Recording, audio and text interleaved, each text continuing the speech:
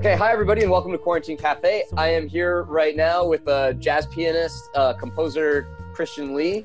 Uh, how are you, Christian? Where are you at, and what is life for you like under quarantine right now? Yeah, uh, I'm good, man. I'm in Brooklyn, uh, in uh, Lefferts Gardens, um, the beautifully named, uh, and uh, quarantine's great for me. Honestly, like perversely, you know, um, if we aren't taking into consideration, you know, the mass tragedy that's happening uh, on an individual level, it's good. Um, I actually, you know, during normal times, I'm very, very seldom in New York for more than a week at a time. Like prior to this whole thing going down, I had I was just lamenting to some friends that I had not been in the city for more than five days at a time um, since August um, of last year, and you know maybe maybe that wish caused the whole thing to happen. Who knows? Um, but here we are. Now I actually, you know, it's nice to have a little bit of break, and I think I think a lot of musicians who tour a lot um, and who are just like doing a lot of stuff on the road um, are kind of secretly grateful to have this break and to be home and working on a lot of the stuff that you know like i had mentioned to myself previously like oh if i only had the time i would you know research this or this or this and now here we are so that's cool actually so i'm going to ask you about that in a second but before that uh, i just want to ask like do you want to say a little bit about what we're about to listen to you play yeah, I mean, you know, it's been a long time since I've done a solo piano concert. It's been a long time since I've done anything on my own name. I just you know, do a lot of. I'm a hired grunt basically uh, these days, and I do a lot of work for other people. And so it was actually you know really fun to kind of scramble to get something together because I don't really had material in place um, for that, and so I had to figure out what to do. And um, it felt uh, like um, you know it was just a really fun exploration to you know sort of see like oh here are these different sides of myself that i can maybe try to explore a little bit you know via various little songs you know like every song i felt like i was trying to explore different part of myself or a different little you know thing that i had been thinking about um, and present it uh, in a sort of encapsulated solo piano form and so that's that's kind of the whole premise. Cool. All right and let's let's give that a listen and then we'll be right back. Right on. What's up, everybody? This is Christian Li coming at you from the Quarantine Cafe, which is currently America's largest and most metaphysical cafe. Uh, I'm going to play a tune by Nirvana called Lithium, which is one of my old standbys for those of you who have been to all of my two uh, solo piano shows over the past three years or so. Uh, I've played this at approximately half of them, um, also, for those of you who are privy to good recording technique, I'm aware that this is not the best microphone to use, nor is it the best mic placement. Uh, but this is all I got to work with, so here we go.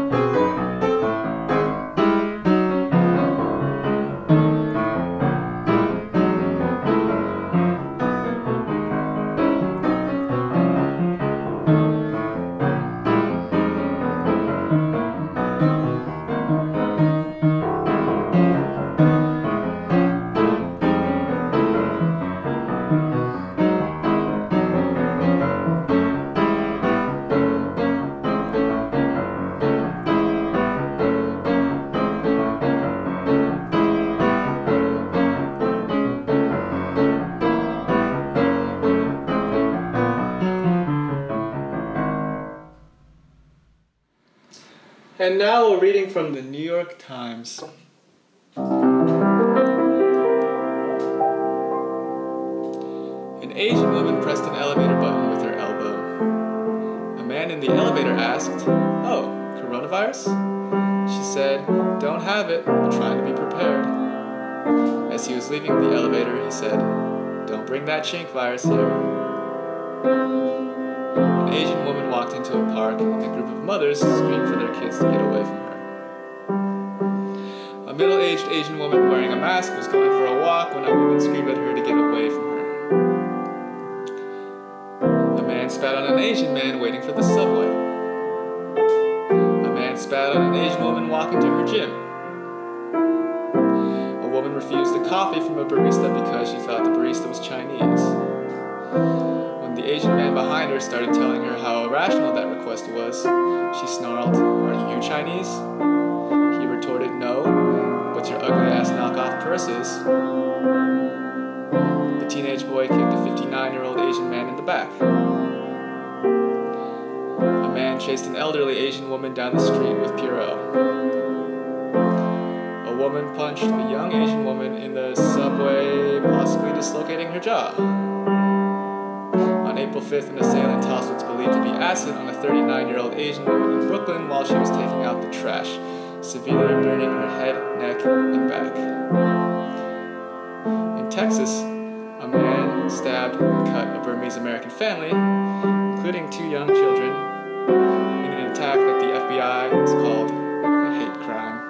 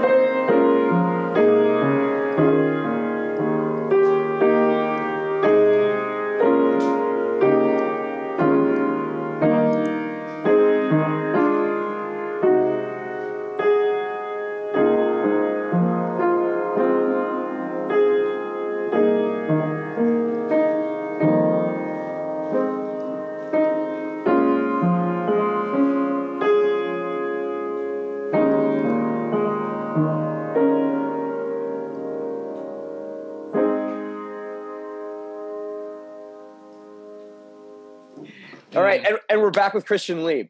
Hey, everybody's so- still with us. Yeah, yeah, he's still with us. so okay man so like uh, honestly that was like uh, one of my favorite sets that we've like gotten from anybody oh, thank you, man.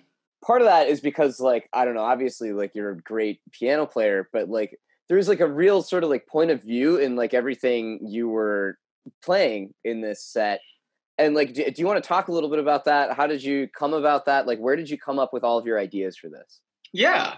I mean, I feel like um, there were no, at least in my mind, uh, no grand ideas behind any of the pieces. They were just like sort of representative of little slices of my personality. Like, um, you know, I love that sort of dead eyed, um, nihilistic feeling that like lithium has, you know, like Yeah. I love that feeling behind Nirvana. And like, I love I think Google Translate is one of the most hilarious things that ever was invented, and there's just like ways to explore like dumb stuff like that. You know, Yeah. it's like because this it's all pointless anyways. I mean, we're quarantined. You know, like you know, it's like you know what? There's never been a more nihilistic time, and so um, you know, why not just take this as an opportunity to explore some of these real like quirky little things that don't really have a place in you know if i were p- performing out in you know public for some swanky you know solo piano event like it would be a little bit harder to maybe pull some of this stuff out of my hat and have it make sense. But in this in this context where we're all at home and you know like we're used to seeing each other's living spaces on zoom and each other's unmade beds it's like who who cares you know? yeah yeah it, it's interesting like you were so you were talking before uh before the break or i guess before the music I don't know. um, yeah, you were talking a little bit about how a lot of musicians who tour a lot or play out a lot are are Mhm. sort of secretly grateful for this. yeah. Um, so I, I guess the first question is, do you tour a lot? And the second question is, um, what have you been doing other than coming up with like this solo piano set? Yeah, I mean, under normal times, I, I I go in and out. I mean, like right before this happened, I was on the road a lot. Like I've been on the road a decent amount for me um, in the spring. Like I'd probably been out for a good month and a half total. Um, I was in China, you know, before this all went Yeah. down Yeah, uh, in January. Uh, I guess it was technically going down then. Um, um, and uh, I was there in December through January um, in Beijing. oh, cool, and- Beijing. Uh, yeah, yeah, yeah, yeah. uh, That's right. Hang out with like with Terry Shea or Nat Of course, yeah, all of Those the, all of those guys. Yeah, I, I, I, I hung out with Terry a lot actually. Shout out to Terry Shea Yeah, shout out to Uh, Terry Shea. and Nat Gao and all those folks. And yeah, it's a great scene over there. Um, And so I was, yeah, I was doing some work there, and then I came back and immediately went on this tour with uh, Sungazer, which is Adam Neely's group. Oh, Um, cool.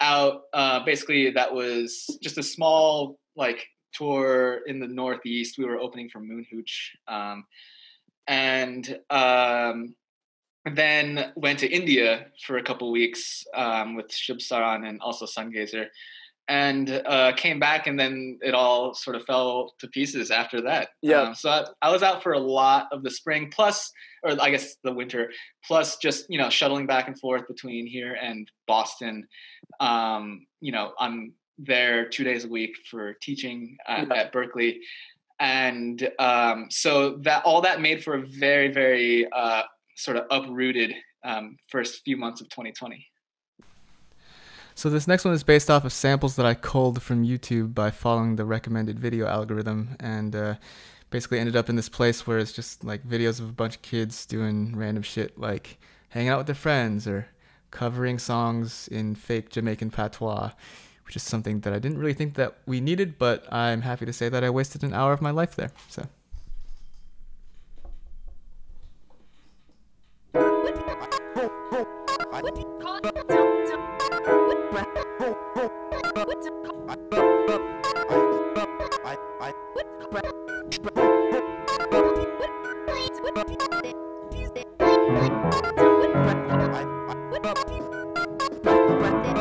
you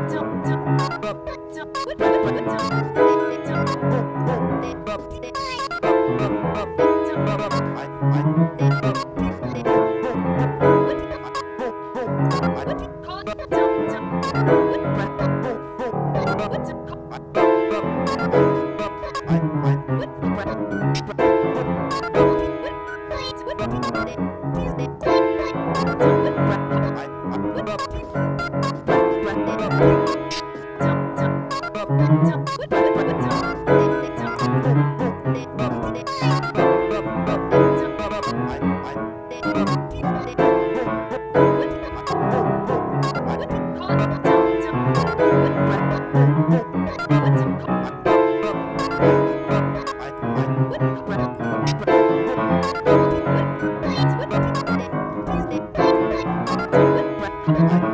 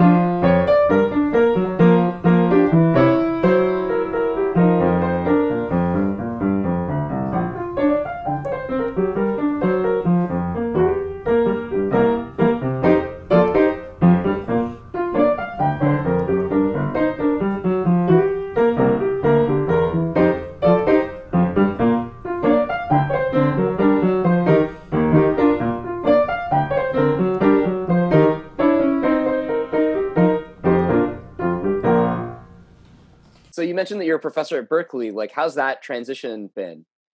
It's been good. I mean, like it, it was definitely weird at first to see it from the other side. Um, and you get like a different. I feel like as a teacher there, you get a different viewpoint than when you're a student. Like when I was a student, I was getting a what I actually now realize was just a small slice of life at the school.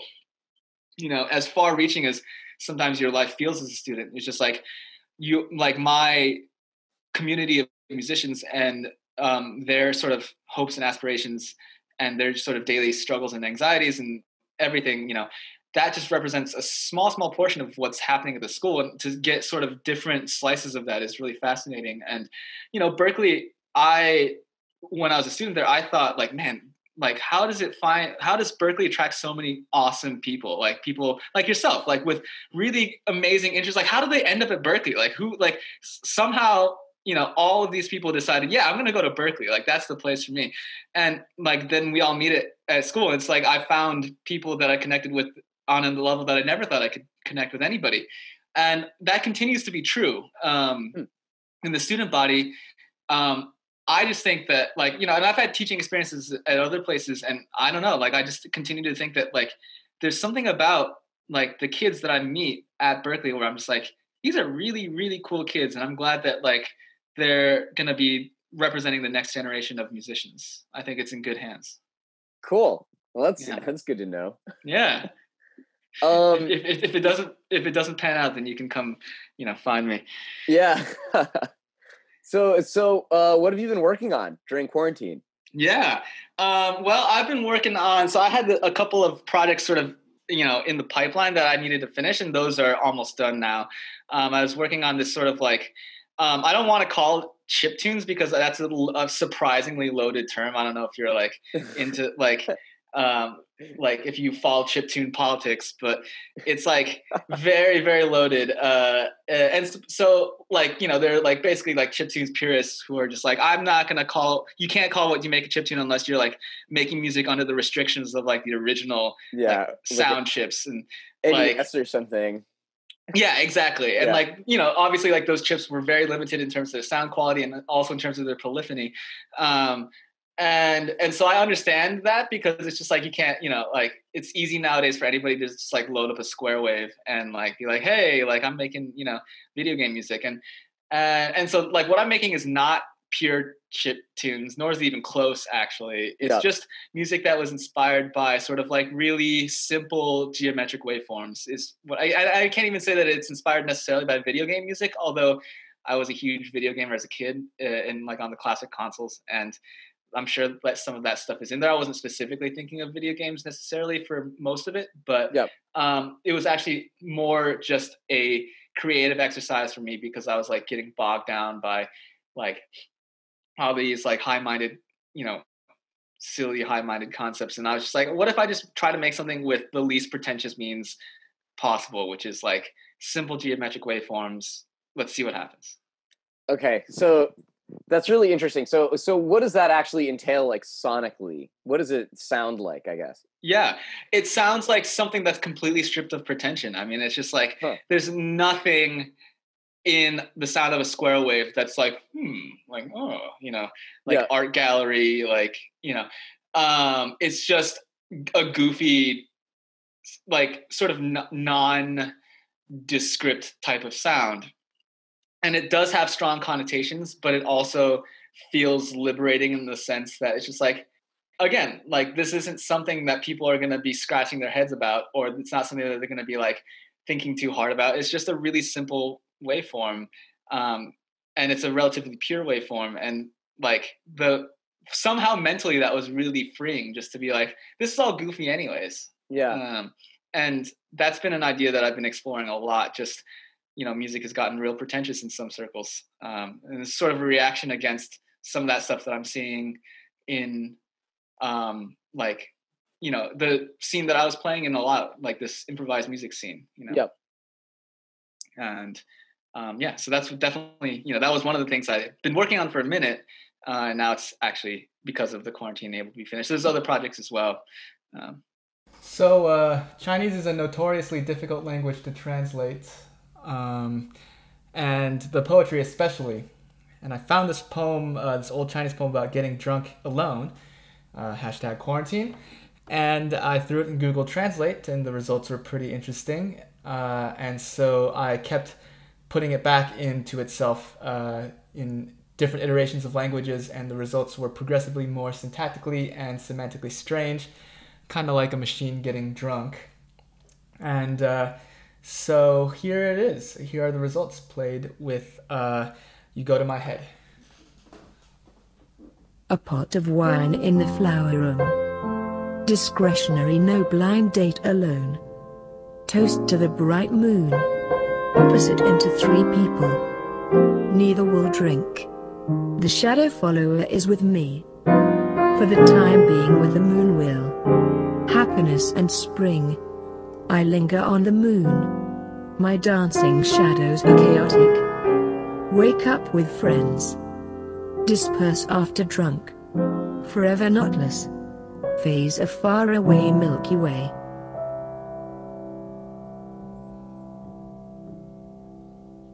Put a jug of wine in the flower room. There is no separate blind date for discretionary delegation. Toasting for the moon. To three people. Don't drink. The shadow follower is with me. Temporary meeting with the moon. Happiness and spring. I wander on the moon. My dancing shadows are in a mess. Wake up with friends. Disperse when drunk. Forever. The distant Milky Way.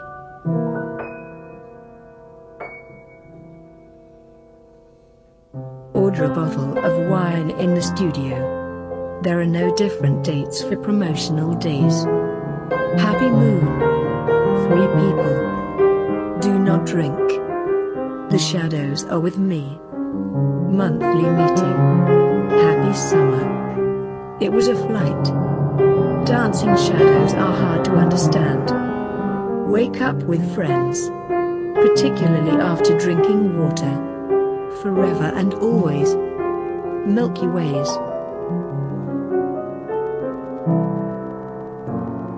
Grab a glass of wine. There are no other dates for the performance date. Good month. Three people. Don't drink. Color with me. Monthly visit. Happy winter. This is a plane. Dance is hard to understand. Go with your friends. Especially after drinking water. Forever.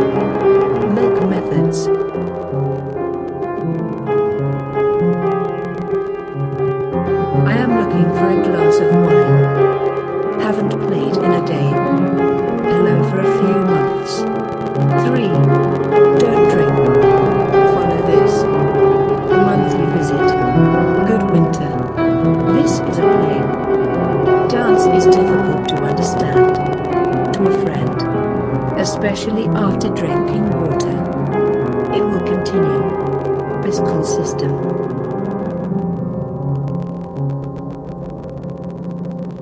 I'm looking for a glass of wine. Didn't play all day. It's been a few months. Three. Drink. Follow. Monthly monitoring. Good winter. This is a bird. Dancing is hard to understand. My dear.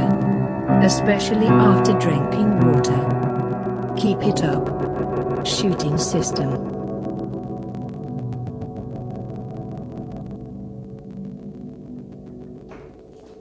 But uh, where can people find your music? And is there anything else that you want to say to the audience? Yeah. Um, well, so this album's gonna probably just come out in Bandcamp. You know, like I have a couple things on Spotify. I have this uh, project with this guitarist that I work with a lot named Mike Bono, uh, and I have this project with this other guitarist that I work with named Kenji Herbert. And both of those albums are on Spotify, um, buried somewhere in the Spotify, you know, um, universe. But um, and then, ah, oh, geez, I mean, there's like so much random stuff that I've been on, and so much stuff that I've been on that I'm really proud to have been on. Um, uh, and I mean, it's all on the internet. Um, all the musicians that I work with, all that music, it's up there. Uh, this album that I, this band that I collaborate with, uh, called Mute with Kevin Sun. um, uh, Lim Yang and uh, Dion Suck. Uh, that album just came out. It's also on Spotify. It's all on Spotify. It's so easy to find. Cool. Yeah. Awesome. And is there anything else that you want to say to everybody? Uh, man, I hope everybody's doing well in the queue. And uh, um, thanks for, you know, taking some time out of your uh, isolation to, to be with us and to check out and support the music scene. It's really, really appreciated. I mean, a lot of us lost a lot of work. And so stuff like this is really, you know, mentally, um, really mentally like healing.